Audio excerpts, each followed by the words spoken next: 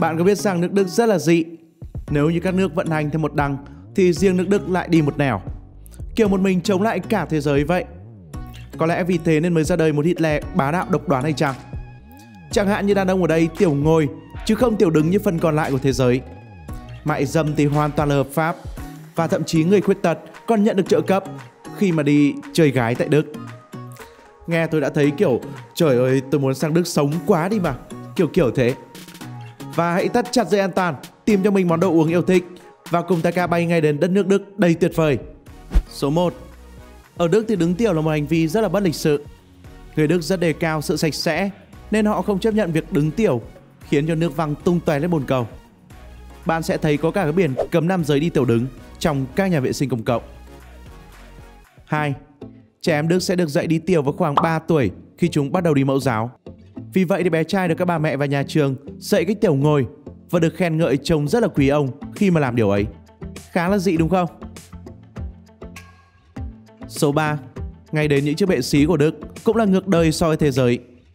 Người Đức dùng kiểu xí bệt có tên là Flat Bottom Toilet, xí bệt đáy phẳng. Thay vì hình nón, phần bệ lõm xuống lại phẳng phiu và được đặt cao hơn cổng thoát như thế này đây.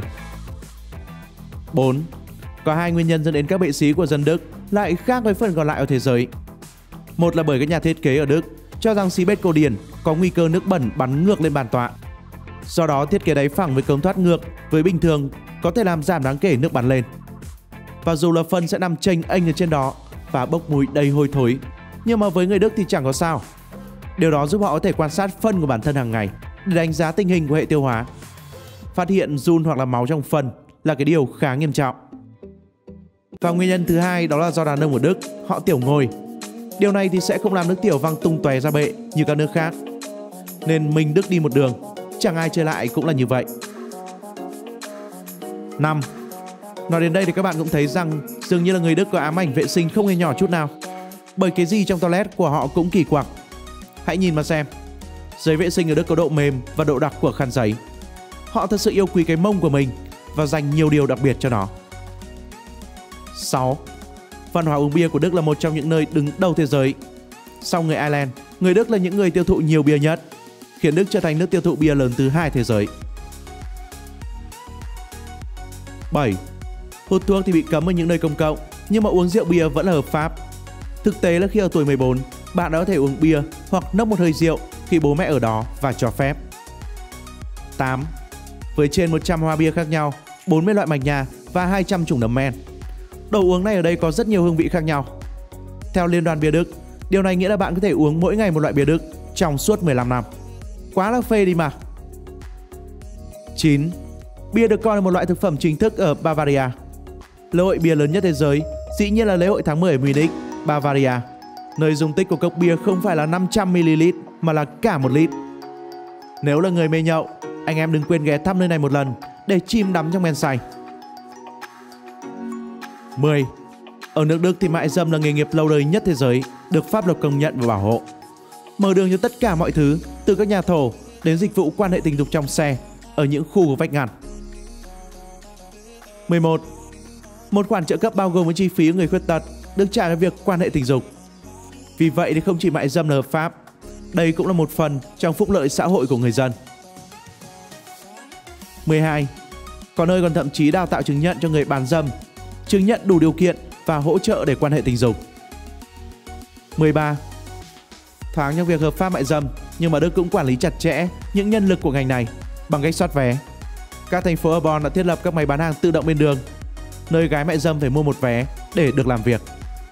Không có chiếc vé này, họ có thể bị phạt tiền hoặc bị cấm bởi cảnh sát. 14. Tại quốc gia này chủ nhật được xem là ngày yên lặng để người dân có thể nghỉ ngơi và thư giãn sau một tuần làm việc mệt nhọc. Điều đó có nghĩa là mọi cửa hàng bán lẻ hoặc là ăn uống vào ngày này đều sẽ đóng cửa, trừ nhà thờ và nhà thổ. 15. Người Đức luôn đóng cửa sổ trong nhà. Họ tin rằng gió thổi từ cửa sổ có thể khiến họ đổ bệnh. 16. Nếu như ở các quốc gia khác tổ chức sinh nhật sớm là cái điều bình thường, có nhiều người còn muốn làm thật là hoành tráng nên ăn sinh nhật suốt cả tuần trước đó. Thế nhưng với người Đức, chúc mừng sinh nhật sớm là một cái điểm không may. Đừng bao giờ chúc mừng sinh nhật người Đức trước ngày sinh thật của họ. Nếu không muốn nhận những tia nhìn đầy giận dữ hoặc thậm chí là cơn thịnh nộ từ họ. 17. Nếu mà người Đức hỏi bạn là có muốn uống thêm bia hay không, thì khi bạn trả lời là thành, cảm ơn, họ sẽ hiểu ý của bạn là no, không cảm ơn. Ngược lại nếu bạn trả lời rằng please, thì họ sẽ hiểu rằng yes, vâng, làm ơn cho tôi thêm. 18. Người Đức không bao giờ mời khách uống nước lọc vì theo quan điểm của họ, điều đó thể hiện sự không lịch sự. Nước lọc theo định nghĩa của người Đức ít nhất phải có sủi bọt hoặc đóng trong chai. Nếu muốn uống nước lọc, bạn phải tự mang nước đi. 19. Các vật dụng thất lạc được treo trên cây là một điều khá phổ biến trên hầu hết các đoạn đường hoặc là các ga tàu điện tại Đức. Nếu bạn làm rơi món đồ nào, hãy tìm xung quanh cái cây gần đó xem sao. 20. Nếu muốn đi tắm biển và xây lâu đài cát siêu to khổng lồ, thì Đức không phải là nơi thích hợp chút nào. Ở nơi đây thì việc xây lâu đài cát hoàn toàn bị cấm. Khá là khó hiểu đúng không nào? 21. Ở một số bãi biển, du khách vẫn được cho phép xây lâu đài cát, nhưng mà phải nghiêm túc tuân theo những quy định đối kích thước của lâu đài. Hãy chú ý đến bảng quy định trước khi bị phạt nhé. 22. Ở Đức có những món tráng miệng kỳ lạ như là kem thịt sông khói Sauerland, đặc sản của thành phố Munich, hay kem dâu tây ăn với giấm balsamic, đặc sản của Frankfurt. Một sự kết hợp đầy kỳ lạ, đúng không nào? 23. Trong văn hóa của Đức cũng như nhiều nước châu Âu, đàn ông có địa vị thấp nhất, còn đứng sau của con chó cưng nuôi trong nhà. Thứ tự thì sẽ là như thế này. Người già, trẻ em, phụ nữ, chó và cuối cùng mới là đàn ông. Khác hẳn với tư tưởng gia trưởng trọng nam khinh nữ của nhiều nước châu Á. 24.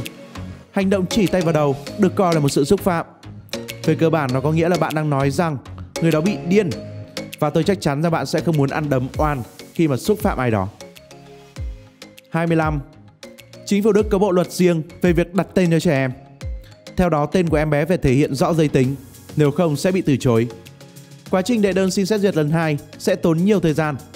Vì thế rất nhiều cha mẹ chọn đặt những cái tên truyền thống như con trai thì là Michan, còn con gái là Maria hoặc Sophie. 26. Các tài xế luôn phải kiểm tra tình trạng xăng trước khi đi lên đường cao tốc. Bởi dừng đột ngột do hết xăng là một hành động phạm pháp ở đây. Người điều khiển có thể bị phạt tiền hoặc là treo bằng 6 tháng. Đi bộ trên đường cao tốc cũng khiến du khách bị phạt 90 euro. 27. Hầu hết taxi ở Đức là Mercedes. Bạn không hề nghe nhầm đâu, bởi đây là nơi sản xuất ra hãng xe sang trọng này mà. 28. Đây chính là từ dài nhất được biết đến ở Đức. Nó dài 79 chữ cái. Và Già đến nỗi tôi cũng méo hiểu được phải đọc kiểu gì nữa. Anh em nào biết tiếng Đức, thử đọc và dịch nghĩa xem sao nha. 29. Bánh mì là một phần thiết yếu trong ẩm thực của người Đức. Với khoảng 300 loại bánh mì chính, 1.200 các loại bánh ngọt, bánh vòng được sản xuất trong 17.000 lò bánh mì và 10.000 cửa hàng bánh mì. Hai thành phố Ulm và Obergausen còn có các bảo tàng cho du khách khám phá lịch sử và những điều thú vị về bánh mì. Người dân Đức tự hào về bánh mì Đức mà không nơi nào trên thế giới có mùi vị giống như vậy được. 30. Siêu xích nổi tiếng nhất của Đức là Kurigurt được tầm cà cay. Mỗi năm Đức tiêu thụ khoảng 800 triệu chiếc Kurigurt. Ngoài ra, quốc gia này còn có gần 1.000 loại xúc xích khác nhau. Vô cùng là nhiều. Trên thế giới đấy quả thật là không hề thiếu những cái điều kỳ lạ. Kính mời anh em đón xem tiếp video. Tại chợ đen các bộ phận cơ thể của bạn đang giá bao nhiêu tiền?